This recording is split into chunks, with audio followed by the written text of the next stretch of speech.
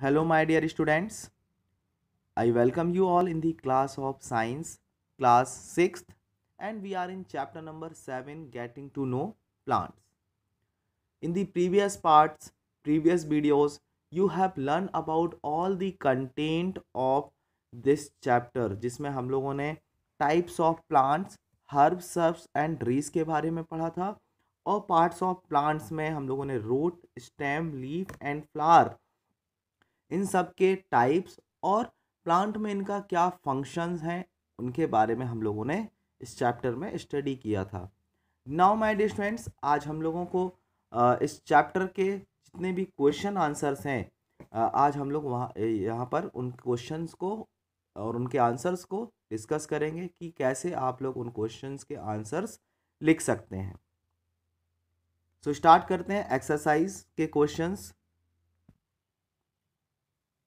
let's begin with very first question of exercises chapter number seven getting to know plants correct the following statement and rewrite them in your notebook यहाँ पर statement दिए हैं mind students stem जो जो properties आप लोगों ने पढ़े हैं, जो फ़ंक्शंस पढ़े हैं, यहाँ पर रॉन्ग स्टेटमेंट्स आप लोगों को दिए हुए हैं. Correct the following statement and rewrite यहाँ पर ये स्टेटमेंट्स जो दिए हैं A B C D E and F ये स्टेटमेंट रॉन्ग है। इन स्टेटमेंट को आप लोगों को करेक्ट करके लिखना है। कैसे आप लोग इन स्टेटमेंट्स को करेक्ट कर सकते हैं, इसके बारे में यहाँ पर हम लोग डिस्कस करते हैं। फ़र्स्ट स्टेटमेंट सबसे पहले आप लोग स्टेटमेंट को बहुत अच्छे से रीड करेंगे। First statement is what stem absorb water and minerals from the soil क्या स्टेम सॉइल से मिनरल और वाटर को एब्जॉर्ब करता है so my dear students no आप लोगों ने पढ़ा है root absorbs water and minerals from the soil तो आप लोगों को स्टेटमेंट रॉन्ग स्टेटमेंट भी लिखना है और करेक्ट uh, स्टेटमेंट भी लिखना है So my dear students, first of all you have to write the question. The wrong statement stem water and minerals from the soil. तो इसको आपको करेक्ट करके लिखना है स्टेम की जगह आप लोग क्या लिखेंगे रूट करेक्ट स्टेटमेंट क्या होगा? Root absorbs water and minerals from the soil so in this way you have to write the answer in the similar way you have to correct these statements leaves hold the plant upright leaves plant को सीधा रखती हैं straight रखती हैं. So no क्या statement पढ़ा था माइडेस्टमेंट्स यहाँ पर हम लोगों ने पढ़ा था stem stem holds the plants upright. जो स्टेटमेंट होगा वो आपका क्या हो जाएगा? Stem hold the plant upright. Now see, root conduct water to the leaves. Root water को लीव्स तक पहुंचाती हैं। सो नो, रूट सॉइल से एब्जॉर्ब करते हैं वाटर और मिनरल्स को और देन स्टेम वहाँ से वाटर को और मिनरल्स को लीव्स तक पहुंचाता है। So root conduct water to the leaves, ये रॉन्ग है स्टेटमेंट। तो करेक्ट स्टेटमेंट क्या होगा? Stem conduct water to the leaves stem conduct water to the leaves हमने यहाँ पर जो डार्क किया है, उसको आप एलिमिनेट कर देंगे वर्ड को और इस वर्ड के साथ आप ये पूरा स्टेटमेंट करेक्ट वे में लिखेंगे. D. The number of petals and stamen in a flower is always equal. जितने पेटल्स हैं, उतने ही स्टेमिन होंगे. उतने ही सैपल्स होंगे। क्या ये करेक्ट है statement so my dear students no the number of petals and stamen in a flower may not be equal may or may not be equal flower may or may not B equal तो ये statement आपका correct हो जाएगा। क्या लिखेंगे आप लोग correct statement में? The number of petals and stamen in a flower is इस भी आपको काट देना यहाँ से flower may or may not be equal तो इस तरीके से स्टेटमेंट आपका करेक्ट हो जाएगा। Then E if the sepals of a flower are joint together its petal are also joint क्या ये करेक्ट है स्टेटमेंट कि अगर सैपल्स ज्वाइंट हैं तो पैटल्स भी ज्वाइंट होंगे? सो माय स्टूडेंट्स नो तो यहाँ पर स्टेटमेंट क्या होगा? फ़र्स्ट स्टेटमेंट तो आपका करेक्ट है सेकेंड स्टेटमेंट आपको करेक्ट करना है ई का। If the sepals of a flowers are joint together it petals are also joints तो यहाँ पर आप लिखेंगे it petals may or may not joint together may or may not joint together तो इस तरीके से आप लोग इस स्टेटमेंट को करेक्ट करेंगे। एक बार और सुन लेंगे आप लोग।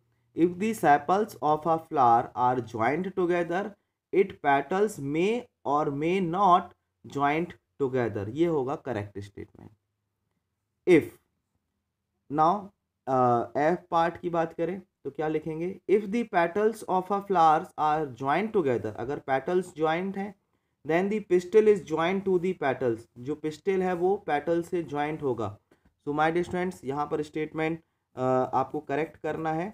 Then the pistol may or may not pistol के बाद आप लोग लिखेंगे pistil may or may not be joint to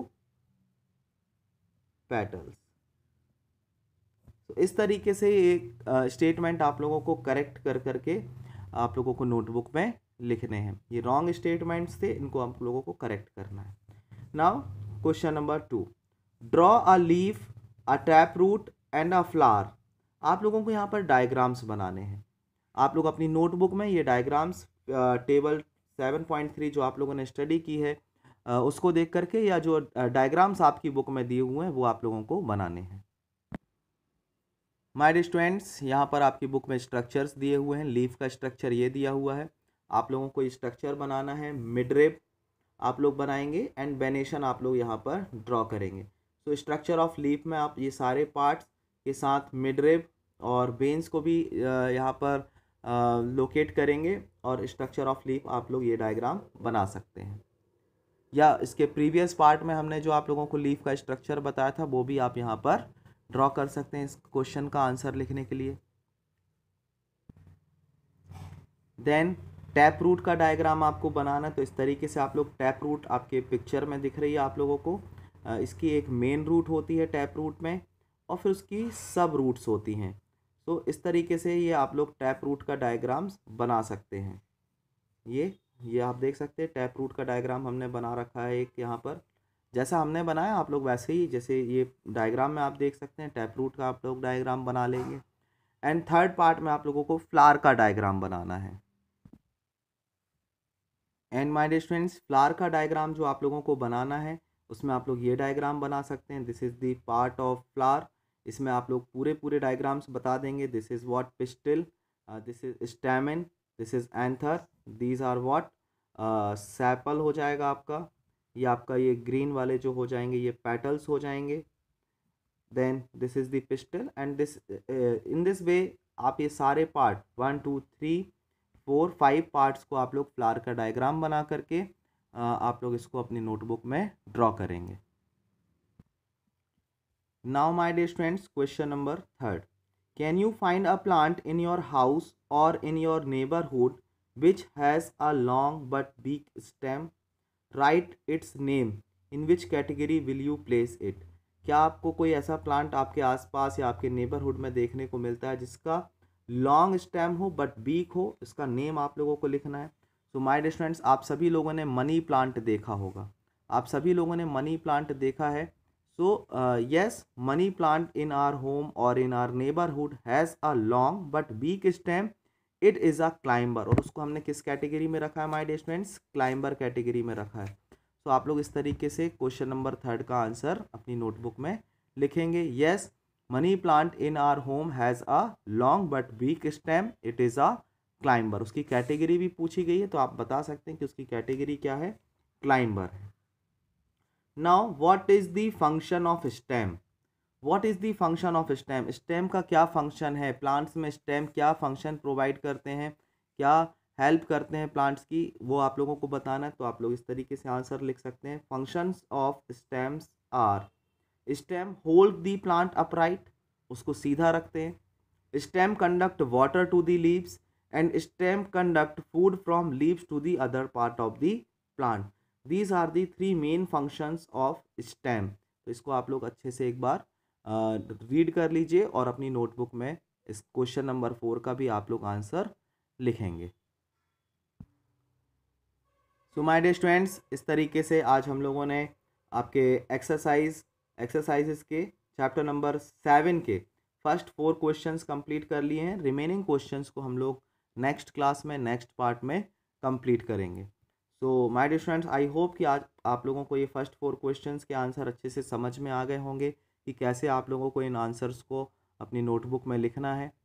so I hope कि आप लोग इसको अपनी नोटबुक में लिख करके कंप्लीट कर लेंगे और आप लोग इसको लर्न भी करेंगे, क्योंकि यही क्वेश्चंस आप लोगों को एग्ज़ाम्स में पूछे जाते हैं। So my dear friends, this is all about the today's class. See you all in the next class with the remaining chapter, uh, remaining questions of this chapter. Thank you. Have a nice day.